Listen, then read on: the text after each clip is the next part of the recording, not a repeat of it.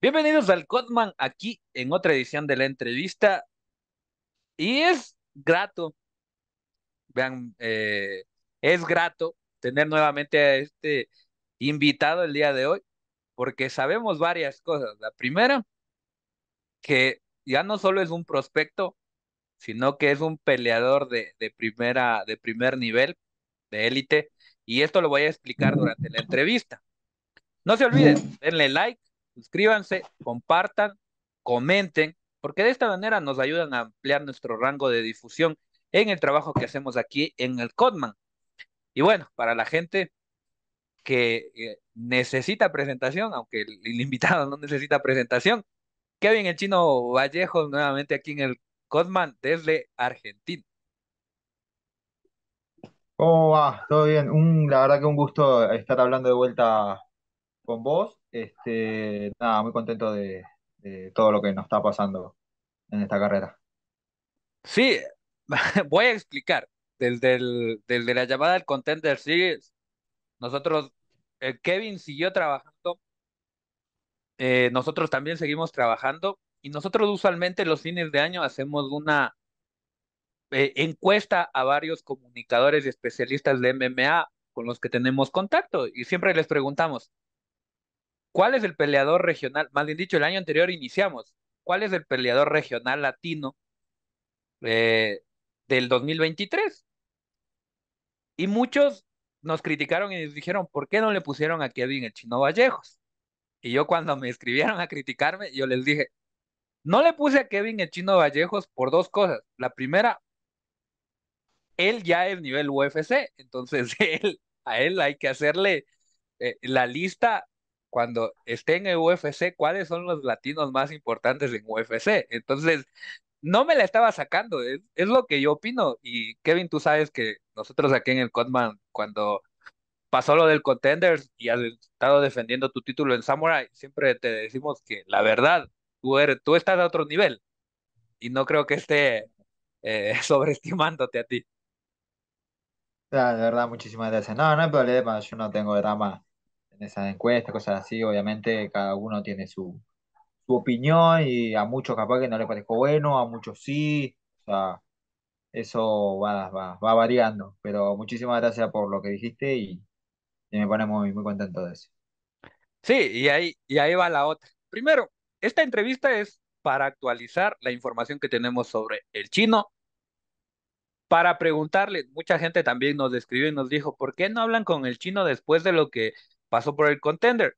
Nosotros siempre esperamos a que el peleador vuelva a su norte porque es muy incómodo, me imagino, para los peleadores que después de una primera derrota vengan todos y te digan, oye, ¿qué pasó? ¿Por qué perdiste? Y cosas así. Nosotros siempre esperamos el tiempo prudencial y ya teníamos eh, pactado volver a escribirle a Kevin a pedirle una entrevista, pero nos, nos sorprendió la noticia otra vez del UFC PI. Ahora sí, Kevin, antes de pasar a lo del, del, del Performance Institute de la Ciudad de México, ¿cómo te has sentido después de tu paso por el Contender? Ojo, que fue un buen paso, que fue una buena pelea y que mucha gente de, de- dijeron que Kevin quedó en el radar del UFC y ahora se confirma con esto. Eh, la verdad que fue, fue duro, fue, fue fuerte, no, eh, te cuento, yo en, tanto en peleas amateur como profesional, hasta esa fecha yo nunca había perdido, nunca perdí, tanto en amateur como en profesional nunca perdí, hasta esa pelea del contender. Y la verdad que sí, fue un, un- algo, un golpe fuerte, no, este, perder obviamente el contender, porque cuando yo entré al contender yo dije, bueno, es mi única oportunidad y dije, tengo que ganar sí o sí, no, no sé, quedo fuera y no me llaman más. Eso es lo que pasaba por mi cabeza. Este, pero después de la derrota y después del apoyo que me dio la gente, porque nada, yo terminé la pelea eh, muy frustrado, muy, muy enojado y nada, yo agarré el celular y lo puse en modo, modo avión no, no quiero ver ningún comentario porque sé que va a venir mucha gente como yo me imaginaba como, no, ¿cómo vas a perder? Sos malísimo, qué sé yo, mucho, mucha negatividad. más que nada por cómo habían tratado en su momento a Irene y a, a Francisco Prado cuando perdió. Yo dije, bueno, me toca la misma. Y, y sinceramente, todo lo contrario. No recibí ni un, ni un mensaje eh, negativo. Todo, tuve como 150 mensajes, todo alentándome, todo tirándome muy buena onda, de tanto de mi ciudad, de Batán, de Mar del Plata, de Buenos Aires, Salta, de, to- de todo, de toda parte de Argentina. Me trataron súper bien y eso me, la verdad que me ayudó muchísimo a no rendirme y a no, no bajar los brazos tampoco.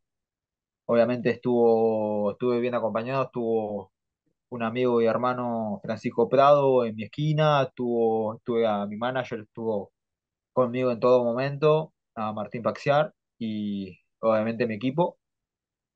Y nada, fue dos días, tres días, estuve medio decaído y después ya está.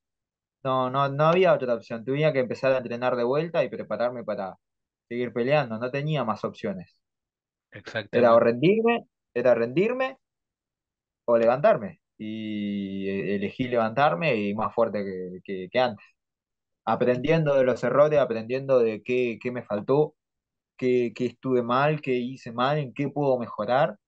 Y, y la verdad que estoy trabajando muchísimo en seguir mejorando, ser más completo y hoy día me siento, es más, esa pelea la perdí, pero realmente fue muy necesario.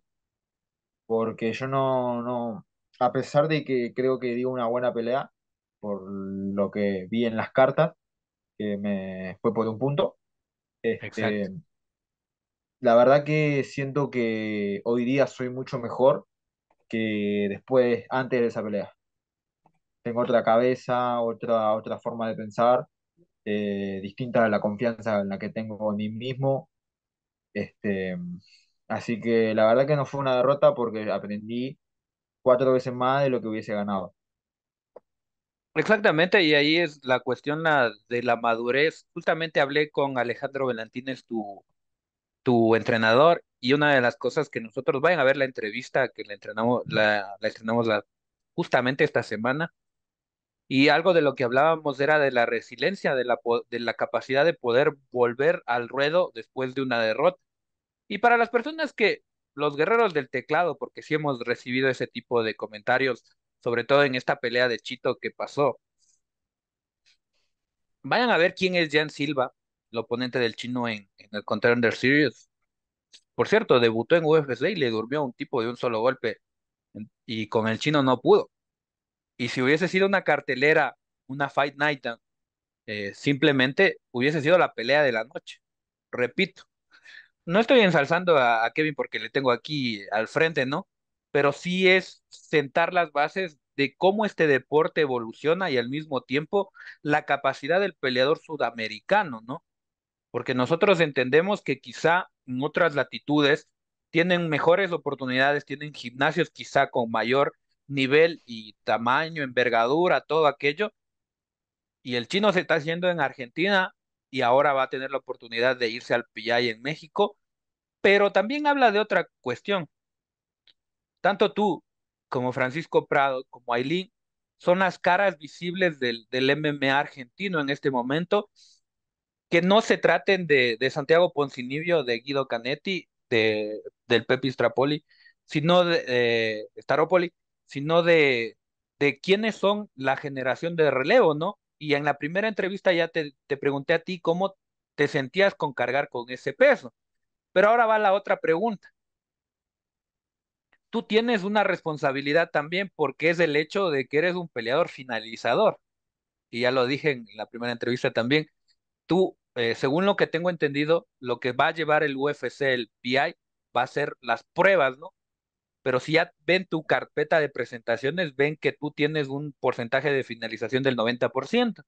¿Cómo lidias con eso? Porque me imagino que en tus pesos también te van a poner con alguien que tenga quizá las mismas cualidades. Eh, sinceramente, mirá, yo me lo tomo como esto, como una oportunidad, obviamente, pero tampoco me lo tomo con tanta presión. No quiero meterme la presión como me la metí en el contender, que yo fui con la mentalidad de que tenía que quedar o, o me iba.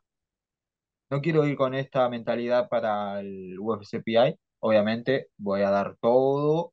Estoy entrenando prácticamente como para una pelea. Estoy en un peso donde me siento fuerte, rápido y demás. Estoy listo para una pelea.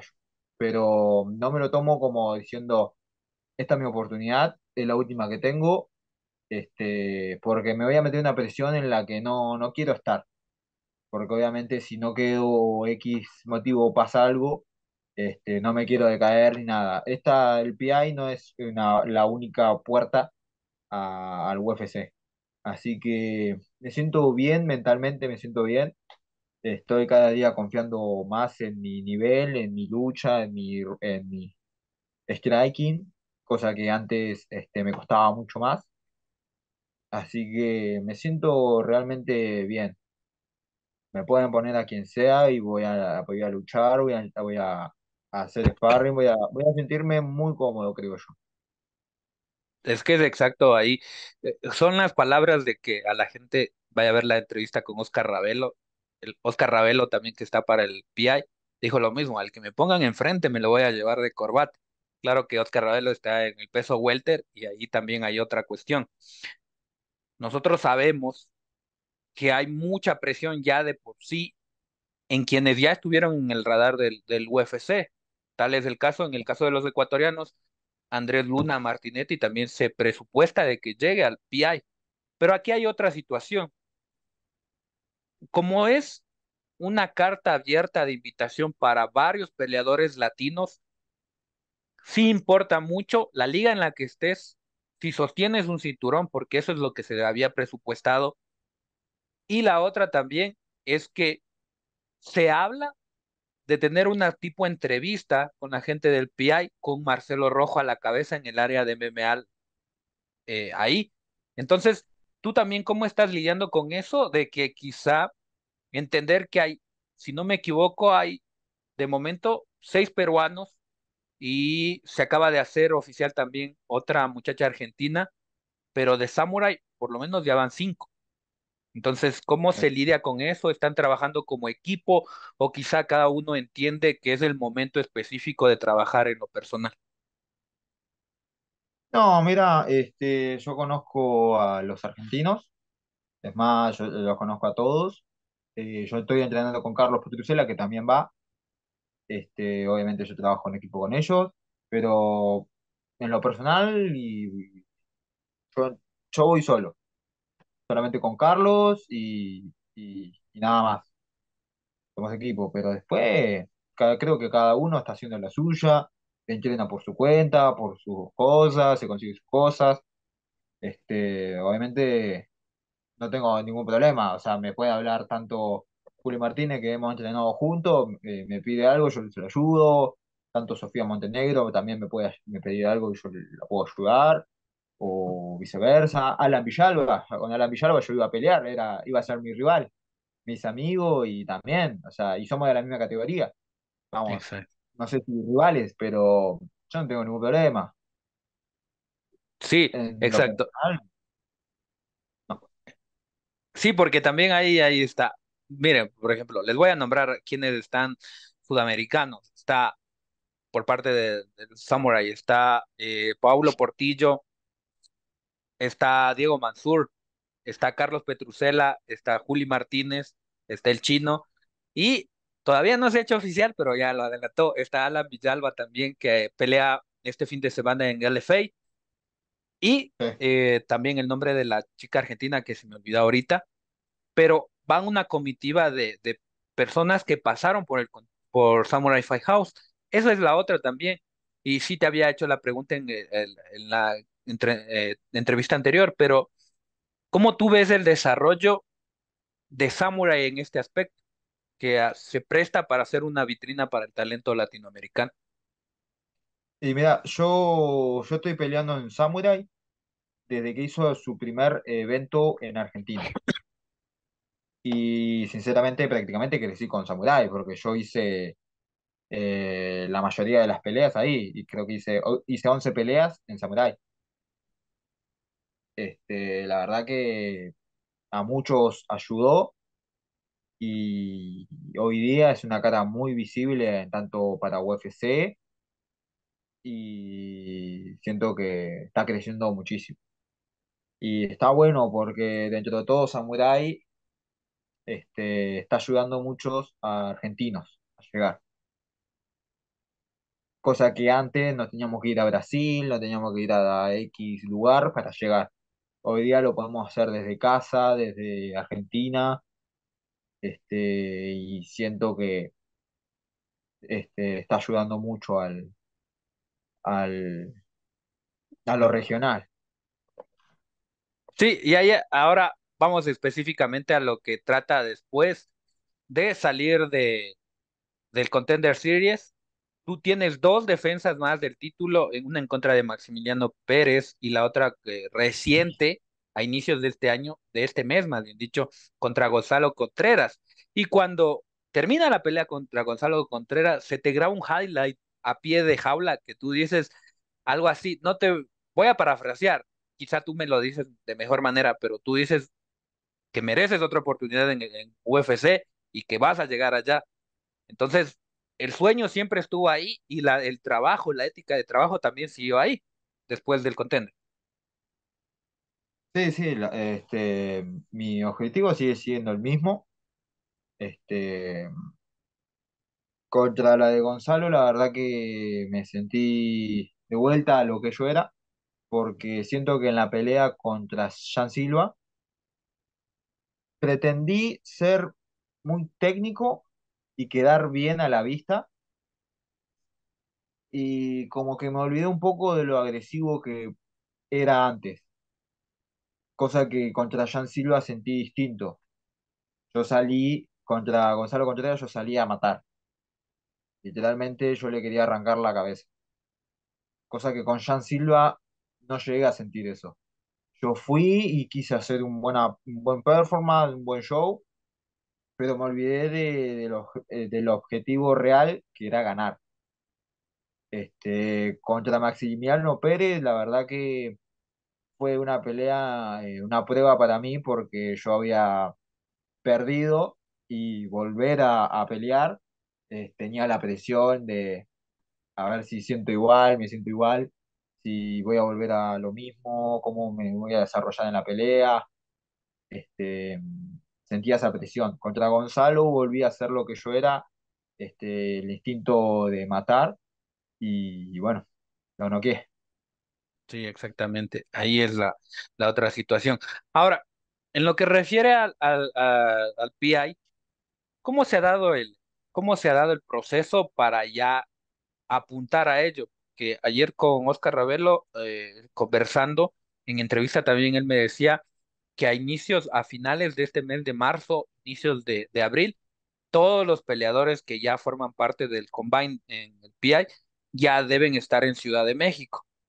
¿Cómo tú te estás preparando? Quizá estás haciendo campamento o quizá estás haciendo cuestiones técnicas para llegar al PI.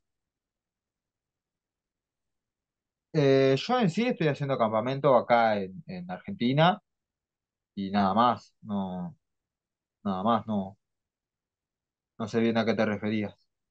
O sea que si estás haciendo trabajos de precisión, como decir, planteándote qué es lo que te Ah, podrías a lo que encontrar en el a, a PI. lo que... Ah, sí, sí, Eh, obviamente. A ver, algo que estamos trabajando mucho es, eh, obviamente acá no tenemos la, la altura, principalmente creo que es el obstáculo mayor para nosotros, es la altura. Allá es mucha altura, la presión es distinta, el aire es distinto, estamos trabajando muchísimo cardio y muchas posiciones de lucha o, o cosas así. Más o menos pensando en lo que nos puede llegar a pasar, obviamente trabajamos parte de técnica de striking parte técnica de lucha, parte... En sí, eh, prácticamente eh, lo que es técnica y lucha, striking, es un campamento. Yo lo estoy tomando como un campamento. Exacto. Lo que estoy trabajando capaz que un poco más, eh, eh, le estoy metiendo más énfasis, es el cardio,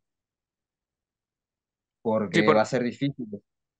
sí, y es que eso sucedió con Francisco Prado eh, y la pelea con Daniel Selhuber, ¿no? Porque Frank es un potente peleador y es un talentazo, pero sí observamos que, que hubo falla en el cardio, ¿no? No, pa- para mí no. Para ti no. No, no. No sentí que se haya, haya sido un problema de cardio. Este, además, él trabajó, creo que como tres semanas antes en México. Obviamente no, no es lo mismo, pero no lo sentí como alguien cansado. Yo lo conozco sé el ritmo de él y más o menos siento que no fue un, un gran obstáculo. Yo creo que el obstáculo de él fue la, la distancia del, de su rival, nada más. Exactamente. Bueno, ahí es la precisión más acertada por parte de un compañero de compañero de Francisco Prado y también el hecho de, de ser un peleador de primer nivel. Ahora, sabemos qué es lo que va a suceder. Lo especificado está que van a ir 40, 60 peleadores, van a hacer las pruebas para el PI y después van a ubicarles en eh, pequeños eventos en lo que se transmite por UFC Fight Pass. Quizá, ¿qué es lo que se puede develar cuáles son los pasos que se va a dar inicialmente o cuáles son los, tus pasos que vas a dar inicialmente eh, cuándo sales de la Argentina, cuándo llegas a México y cuáles son los pasos, dónde te vas a ubicar y cosas así, que quizás nos puedas Uh, compartir. No, mucha información no nos dieron. Yo lo que sí viajo el treinta treinta de, de este mes, de marzo. eh, yo estoy viajando, pero realmente no nos dieron mucha información. Nos dieron los pasajes en Ciudad de México y nada más. Después mucha información no, no- a mí en lo personal no me dieron. Capaz que a mi manager sí, pero en lo personal a mí no. Exactamente. Y ahora, ahí va por la parte deportiva y quizá especulativa. Sabemos que tú eres un striker de primer nivel y vas a ir a la tierra de donde salen los boxeadores. Quizá te emociona eso también, llegar, poder cruzarte Yo, con a mí, alguien a ese nivel. a mí, a mí realmente es algo que Eh, capaz que en las peleas no tanto, obviamente, porque eh, meterse a un cruce en todas las peleas este, no es inteligente. Una, porque yo no sé si mi nivel está a su altura. Y segunda, es de recibir daño eh, innecesario a veces. Pero en los entrenamientos hay algo que a mí me apasiona, es ponerme unos guantes de boxeo o con tibiales, no hay problema pero ponerme unos guantes de boxeo y, entrenar con alguien, no, o sea, no quiero ir con la intención de matarlo. De un entrenamiento, un sparring como compañero, como amigo, de- nos damos fuerte, pero sin, sin mala onda, sin mala leche, como lo decimos nosotros, este, a mí me emociona mucho. Yo quiero ir, si hay un mexicano, me encantaría agarrar y boxear con el mexicano. Sí, porque ahí, ahí es la cuestión, ¿no? Se, te- se van a medir, se van a medir, porque ya sabemos lo que va a suceder. Y además que es eh, Miguelito Grijalva, que es tu compañero ahí en Brothers of Light, él sabe decir que la, la sana competencia entre peleadores es, es buena, ¿no? Porque llegan a apuntar niveles y que dicen, quizá aquí estoy fallando. sí, obviamente. A ver, este, uno como peleador hay muchas veces que siente que los golpes la intención del otro. Es algo que se, se siente porque yo puedo estar pegando con muy buenas intenciones fuerte, como puedo estar pegando con malas intenciones fuertes. Y es muy distinto cómo se siente a la hora de pelear. Claro, porque ahí está el, el, el, la intención, ¿no? De mejorar. Ahora, hay otra, hay otra cuestión también aquí.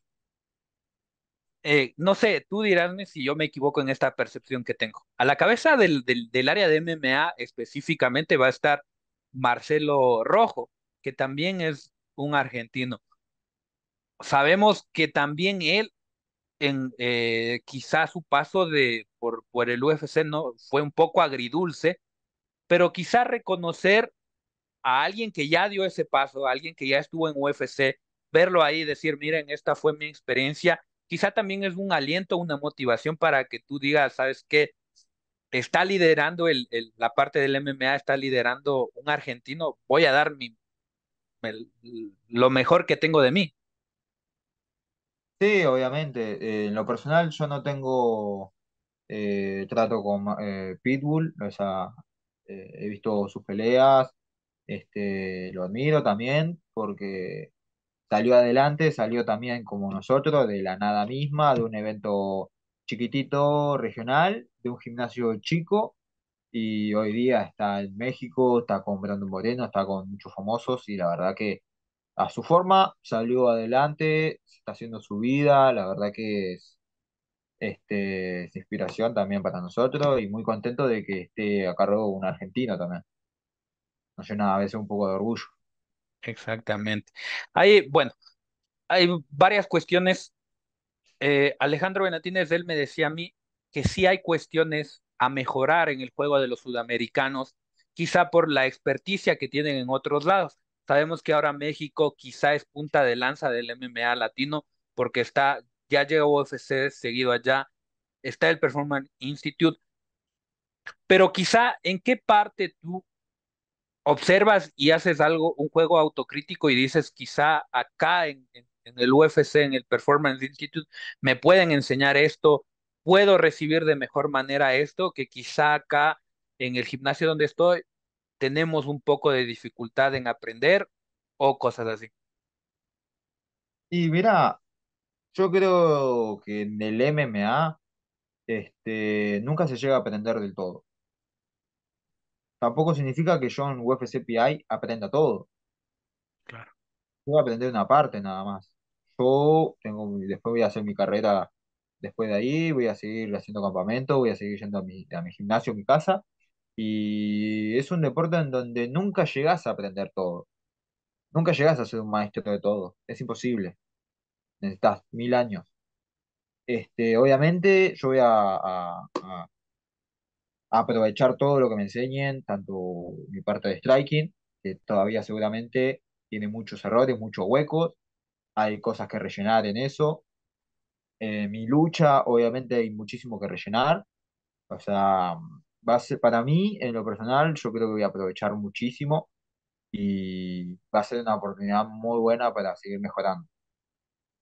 Pero nada, también el hecho de entrenar con gente que tiene mi misma visión, mi mismo y un nivel realmente alto. Eso también es muy eh, aprovechable porque no se ve siempre, no es un, eh, no, no se ve siempre un lugar donde junten a todos los prospectos a entrenar. Yo voy a, voy a, capaz que voy a absorber más de mis propios, de mis compañeros allá que de las clases que me den. Va a ser una Sí, experiencia muy, muy buena porque yo me voy a estar juntando con gente, este, prospectos que están a punto de llegar capaz que a UFC. Yo me estoy juntando con todo ello y voy a entrenar con todo ellos y voy a sentirme, a, a ver, si yo le gano a, a la mitad, yo me voy a sentir muy bien, voy a sentirme muchísimo mejor, tanto en lo personal como mi cabeza, como todo, y decir, bueno, tengo un nivel suficiente, hay mucho que aprender, puedo seguir mejorando.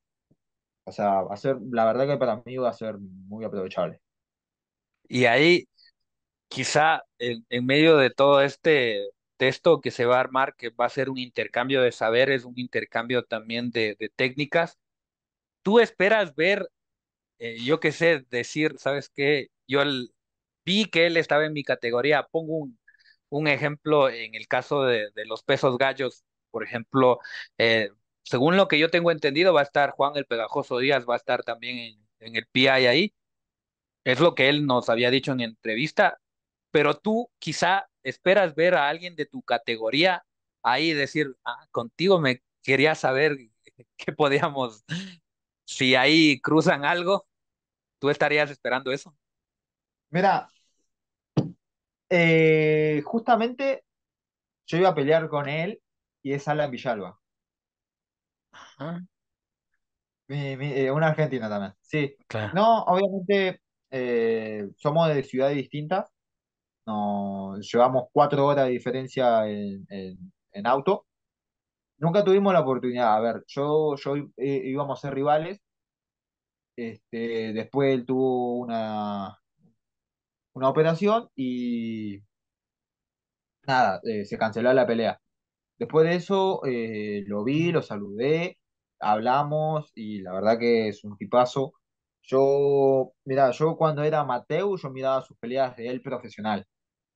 y me gustaba su estilo, me gustaba cómo peleaba, me gustaba que iba para adelante y siempre me, me, me, me generaba esa sensación de, de que para mí era uno de los mejores striking que había y yo me quería cruzar con él porque me quería probar a mí mismo y por eso me quiero probar, o sea, probar, quiero hacer un sparring, quiero moverme con él, entrenar con él, a ver qué onda, quiero, me, me interesa. Pero creo que con él y con Rudy Gavidia, no sé si sabía que estaba, no sé, Sí, el, el charanguero está ahí también en la lista. Sí, Rudy Gavidia, bueno, él también tiene, no sé, no me acuerdo bien en Tapology, pero tiene peleas en cantidad, peleó con muchísima gente. Peleó con un profesor mío también, de Manuel Rivero, que está en México. Este, por eso también me quiero cruzar con él. Es, era- él pelea desde hace años. Yo como profesional tengo dos años Y claro, y ellos están hace años de, de- de muchísimo. Yo creo que yo tenía 16 y ellos ya eran profesionales. Y yo recién estaba arrancando como, como, como Mateo. y ahí imagínense el- las peleas que se podrían dar en el ámbito latinoamericano, las peleas de ensueño, un Kevin Vallejos versus el charanguero Gavidia, sería una peleota, ¿no? Ahora, enfilándonos para la parte eh, final de, la entrevista. ¿Qué podemos esperar del, del Chino Vallejos en esta segunda eh, vuelta, en esta llegada al PI? ¿Qué podemos esperar? El mismo enfoque, la misma destreza, pero ahora enfundado en también la experiencia, la madurez que ya tienes ahora de haber defendido tu título varias veces, de haber pasado por el Contender Series y de haber ya probado el primer nivel y decir sí pertenezco al primer nivel. Eh, como te había dicho, no lo tomo como mi única oportunidad, como mi única puerta. Yo sé que si no es acá, voy a llegar de, de, de otra forma. No me importa cómo, yo voy a estar. Este, y nada, creo que después de mi derrota y mi vuelta, soy un poco más completo. La verdad que me voy a, me siento bien, me siento seguro, me siento bien con mi lucha, me siento bien con mi, mi, striking, siendo que acá, por ejemplo, wrestling no tenemos, no tenemos profesor de wrestling, pero tengo mis compañeros, este, cada uno se va compartiendo su experiencia, sus cosas, vamos recolectando información como podemos entre nosotros, con los recursos que tenemos, y llegamos al contender así. Y creo que dimos una buena pelea por todo lo que vi, por todo lo que nos dijeron.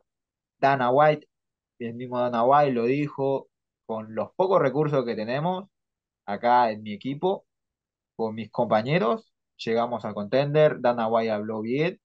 Yo creo que con un poco más de oportunidad, de más experiencia, de más profesores, de más, más herramientas, este, yo creo que no, van a, no va a tardar en verme en UFC.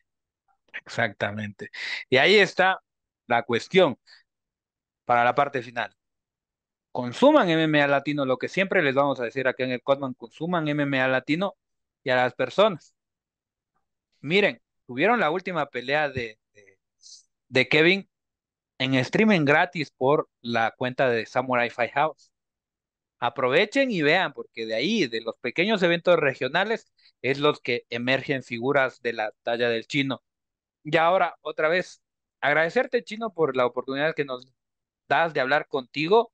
Esperemos que todo salga bien y quizá para la parte final, ¿esperas alguien, eh, esperas en algún momento también ver a otro compañero tuyo de gimnasio o de promoción llegar a estos niveles? Obviando a los, al grupo de peleadores que ya van de Samurai. ¿quién dirías tú que próximamente puede dar ese paso? Háblese, yo que sé, de Omar Arteaga, del mismo Miguel Grijalva, ¿de quién tú dirías ya está listo para dar ese paso también? Eh, Omar Arteaga y Mauro Mastromatini. Claro. Sí, y de hecho, Omar Arteaga defiende su título en Samurai, eh, va por el título en Samurai eh, 16 y Mauro Mastromarini pelea ahí también en Samurai 16. Gracias, Kevin, por la oportunidad que me das de hablar contigo nuevamente y esperemos que todo salga bien y verle al chino en UFC peleando ahí nuevamente. Gracias a vos, gracias a tu audiencia, a todos. Este, gracias por el apoyo de siempre. Y nada, nos estaremos viendo o estaremos peleando nuevamente. Nunca me voy a quedar quieto. Exactamente. Ahí está. No se olviden, denle like, compartan, suscríbanse y comenten porque queremos tener toda esta semana de invitados que sean los eh, peleadores que van al, al PI, al Combine, ahí hacer pruebas para llegar a UFC. Y otra vez, gracias Kevin y nos vemos en una siguiente oportunidad aquí en el Cotman.